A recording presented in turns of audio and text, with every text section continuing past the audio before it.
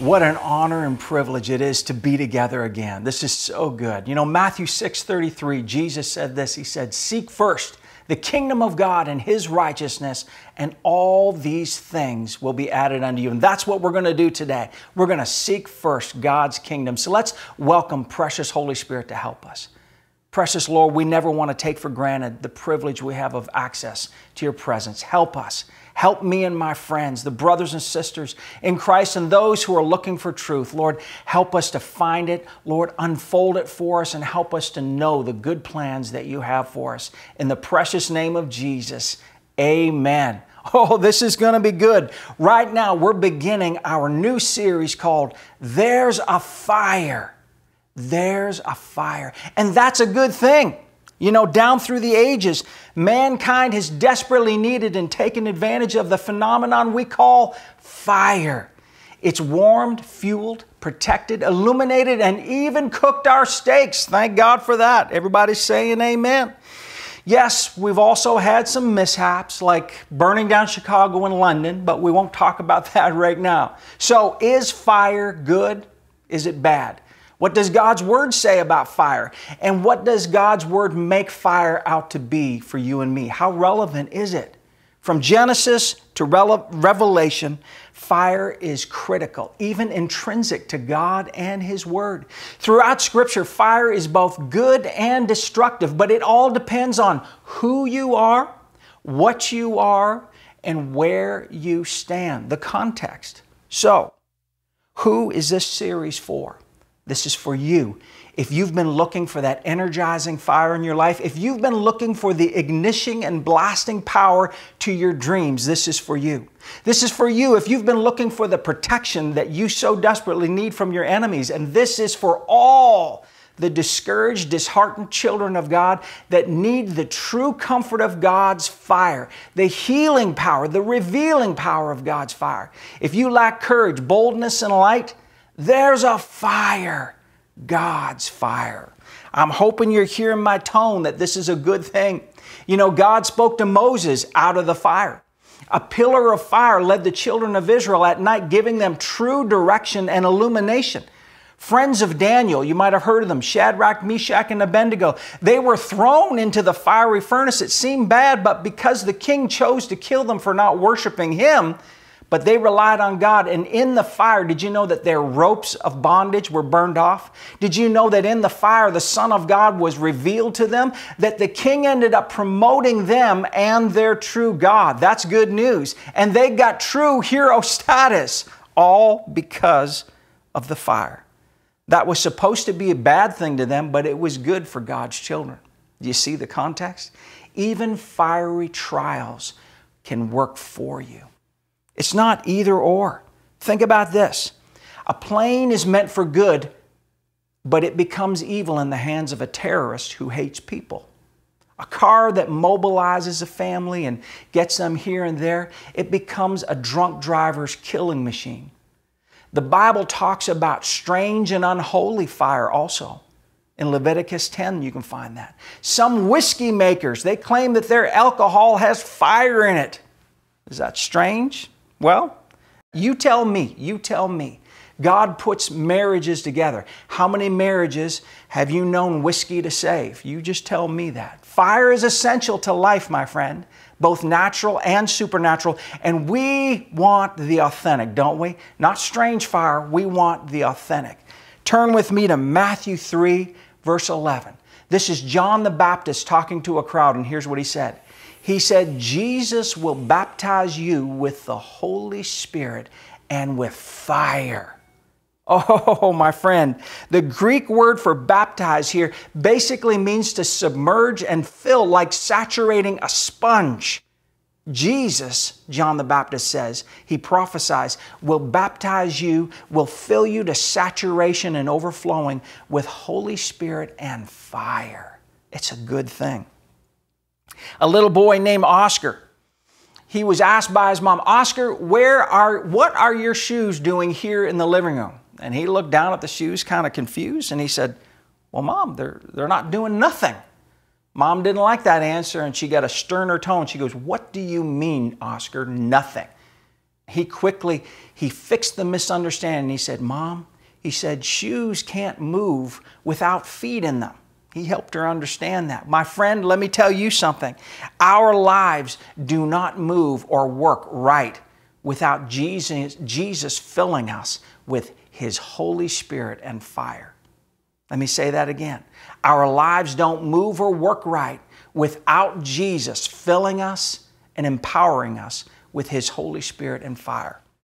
You're about to get lit up with the revelation of God's love. God is light. He's fire. Did you know that? We're about to discover the word fire is even built into the Hebrew word for blessing. Oh, that's going to come in about part three. But hold on, you're going to discover some good things about fire. The Hebrew word for fire is built into the identity of man, woman, and the presence of God. Wow. What should we expect Jesus to do for us as we download this revelation of Holy Spirit and fire, the baptism of Holy Spirit and fire. Because you see, Jesus' baptism of Holy Spirit and fire, spoken of in Matthew 3, verse 11, it will do this it will illuminate, it will eliminate.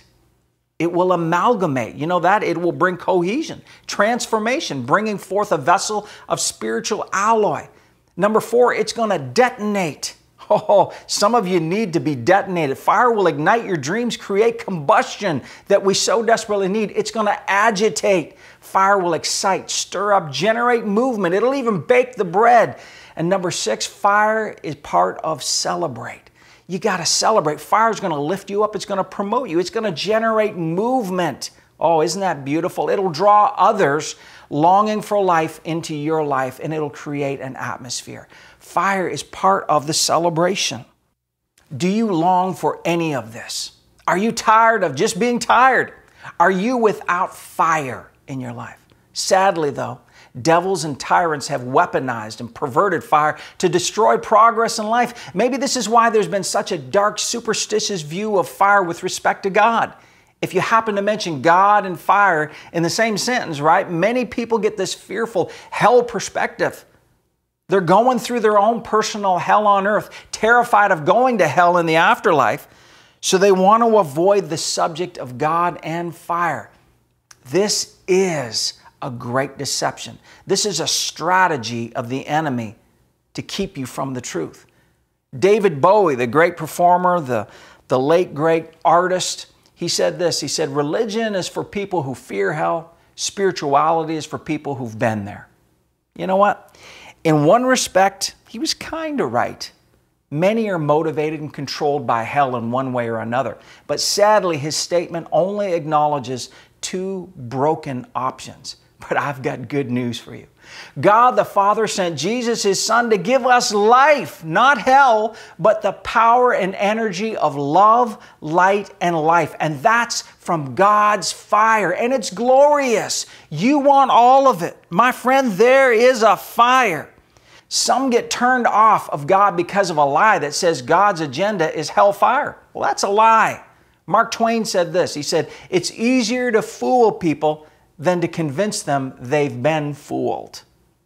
Satan strategizes. He strategizes to deceive humanity into thinking that any talk of God plus fire equals hell. He's terrified of you discovering the truth, my friend, because knowing the truth not only sets you free, as Jesus said in John 8, verse 32, but it also activates, it ignites, it fires up the revelation of truth that you want. Bless his heart, Gandhi once said, he said, I like your Christ. I do not like your Christians. Your Christians are so unlike your Christ. A Christian without fire will always misrepresent Christ. Sadly, it's not an uncommon thing. We're about to discover in God's character that He is a fire, a consuming fire.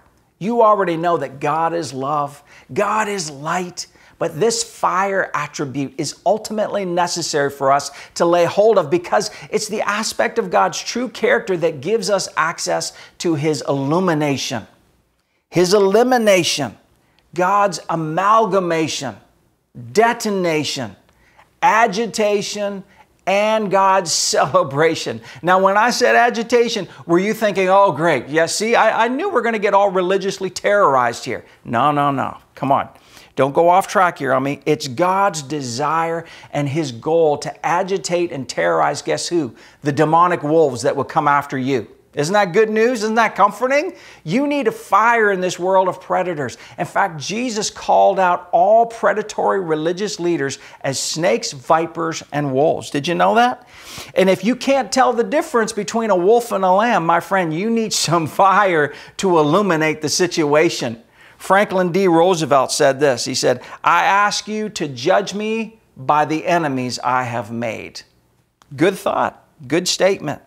When you're surrounded by hungry wolves, there's nothing better than a big old bonfire with marshmallows to put a smile on your face and put you at ease.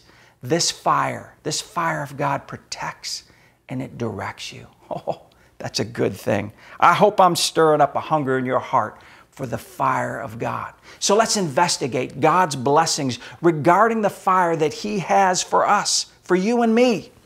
Now remember this God has a habit. He's got a way that He always follows, and that is He lets you choose. You're made in His image, but He's given you free will to make choices. Deuteronomy 30, verse 19, God says, I've set before you life and death, blessing and cursing, but you choose. God doesn't force His love, His light, or His life on you. You get to choose. In fact, you must make a choice. But the devil knows this, you see. So this is why he works overtime to deceive you into not choosing right. And let's be honest, folks, many people make choices in life that they ultimately regret, that they don't want. Many people at the end of their life regret choosing what they thought they wanted. I once saw a sign that said, Well, hello there. You look like a bad decision. Come on over here. Another sign said, Bad decisions make good stories. But my friend, you don't want to be the star of that story. You don't want to be the hero of that story. No, no. Choose wisely. Choose God's plan for your life. Jesus comes with a gift from Father God. It's his baptism of Holy Spirit and fire, and he paid full price for it at the cross. Jesus shed his blood so you and I could have this amazing, priceless gift, the first fruits of our inheritance. Let me read again to you the full version of Matthew 3, verse 11. John the Baptist is talking to the crowd, and he says this He said, I indeed baptize you in water because of repentance. But he who is coming after me is mightier than I, whose sandals I am not worthy or fit to take off or carry. He will baptize you with the Holy Spirit and fire. The word translated into fire here from the Greek into the English is the Greek word pronounced poor, not P O O R, but P U R, but it's pronounced poor. It means fire. It means the heat of the sun. Other translations are lightning, fiery challenges and trials. Throughout Scripture, fire is often used figuratively, like with the fire of God, which transforms all it touches into illumination and into the likeness with Himself.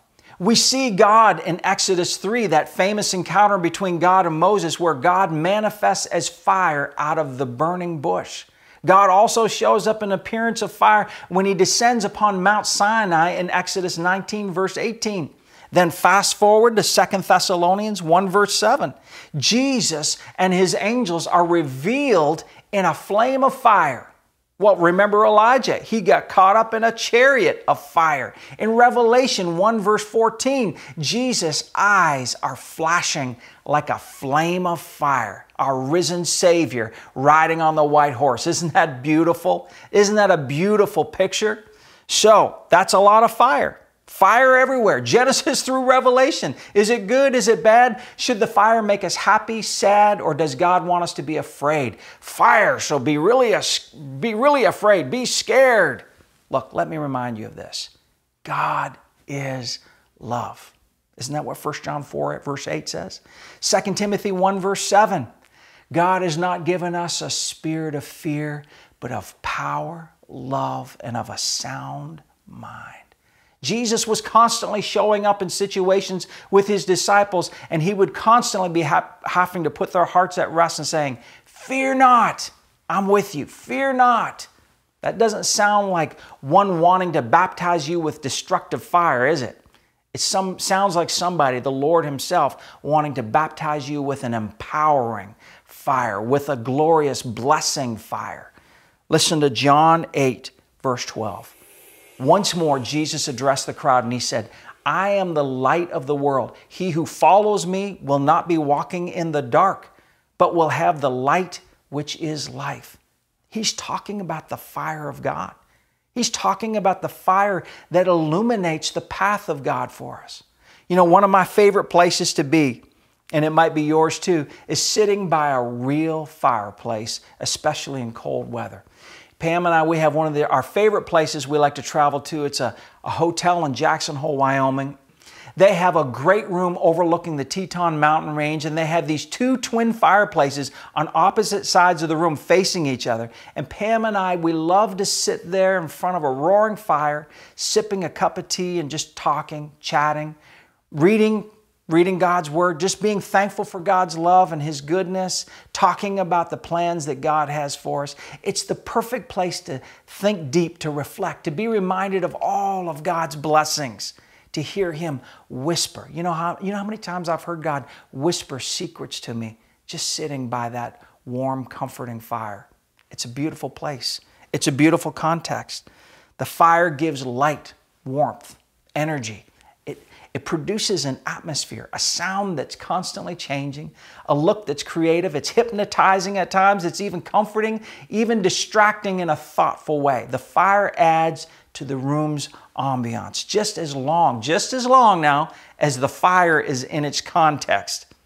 If you were to pull that fire out just a few feet out of its wonderful context and bring it a few feet into the hardwood floor on the carpet, you know, we would all probably go from ah, fire to ah, fire, right? C.S. Lewis said this. He said, Is any pleasure on earth as great as a circle of Christian friends by a fire? You see, when we talk about fire, it's built right into the built into the conversation context. We want fire in a beautiful context so that it produces life for us. That's what God has. God's the master of context. God is good all of the time. See, you have to know that His mercy and loving kindness endure forever. So, fire is good when God's involved because He keeps it in the right context. If God is good, then His baptism of fire is good. He's looking for a vessel to put His fire that can manage and hold His fire. It's desirable, it's a gracious gift. Think of it. We need fire in some form or another to stay warm in the cold.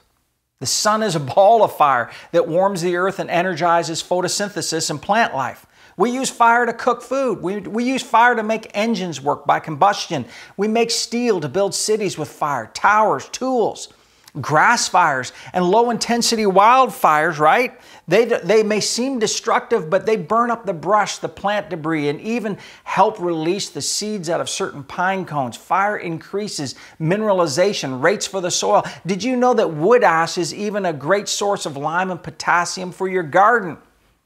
Families love a good bonfire, a campfire, a hot dog roasting fire and a keep warm fire. People lost in the woods can die without the warmth, the protection, and the signaling ability of a fire.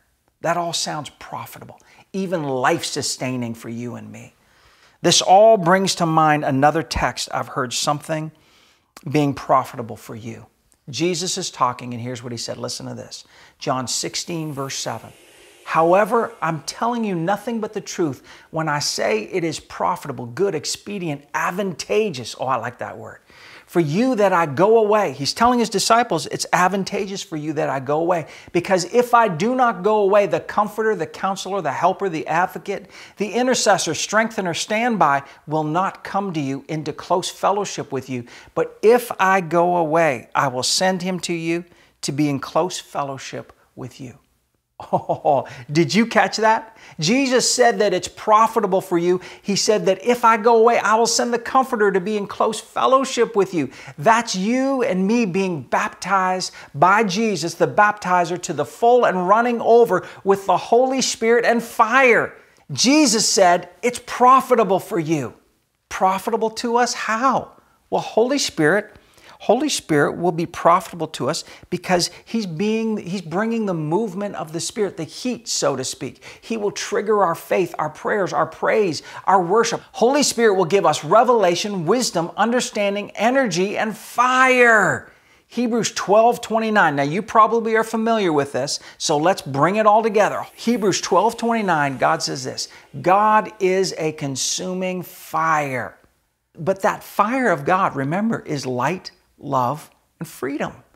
You see, God's Word, which is Jesus, is the fuel that produces the fire when ignited and a supply of air and heat.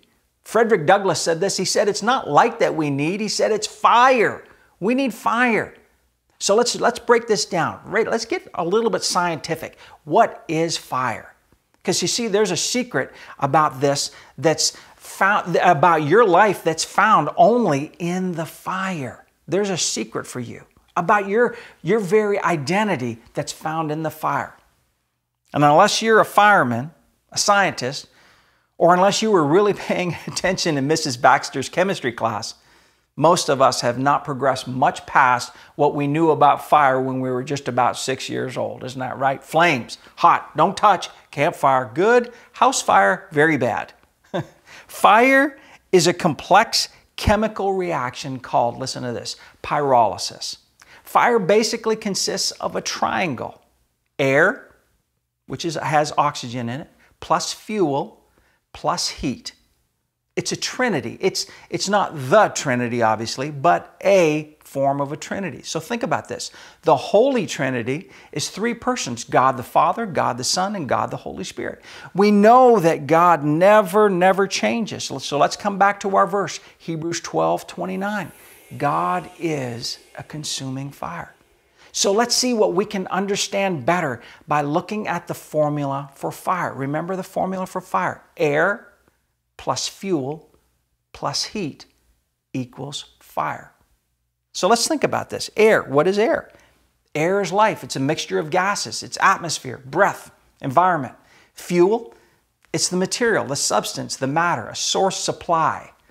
Heat, it's the energy. You got to remember, heat is the movement of molecules. It's movement, it's a transfer of energy from one thing to another thing. It's kinetic energy. Air plus fuel plus heat equals fire. So, how about this? The breath of life plus substance plus movement equals fire. So, can I draw it again one more time? The spirit breath plus the word, which is the source of all substance, plus heat, the movement, that's which precedes the movement of the Holy Spirit equals consuming fire. And consider this you and I were made in the image of God. You're a triune being, body, soul, and spirit. We all have this desire to be, don't we? To light up, to be activated, to know glory, the glory that's above our own existence, that's from the outside in, to be empowered. Ephesians 5, verse 8 says this For once you were darkness, but now you are light in the Lord. Walk as children of light.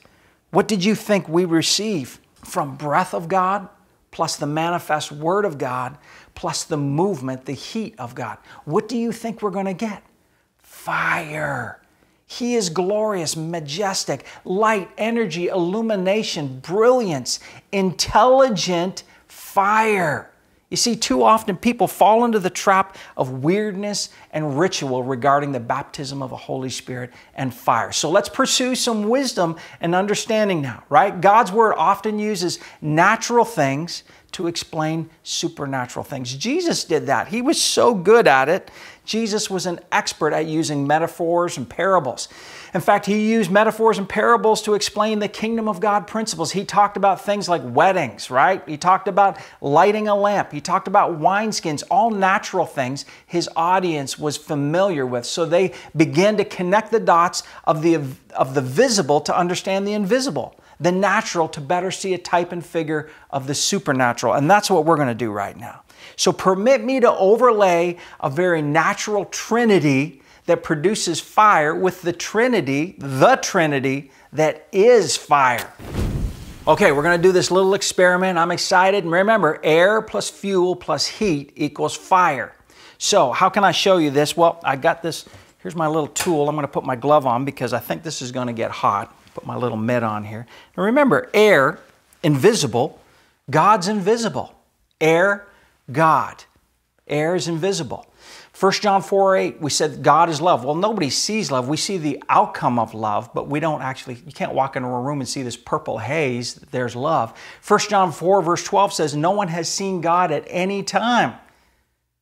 Only Jesus has seen the Father. Jesus, now on the other hand, so this is going to be my air. You see my supply of air around here? It's everywhere.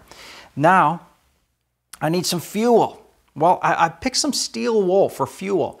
Because you know what I love about steel wool is that it's this network, fine network of all these strands. You know, Jesus is the manifest word. The word became flesh, John 1:14 says. The word became flesh and dwelt among us, and we beheld his glory and the glory as the only begotten of the Father, full of grace and truth.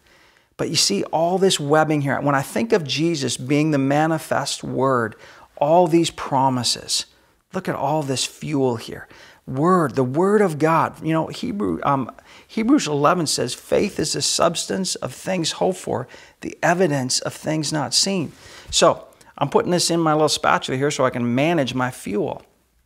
So remember, I got my air, I got all my fuel. But you know, I want to think of it, this is kind of like you, isn't it? Until we put the until we put the word in you, You've got this vacuum, this God shaped vacuum, needing to be filled with the fuel of life because you're not lit up, not without Jesus in your life. And we put the promise, the manifest promise of God's word in your life. Look at that. We get Jesus in your life.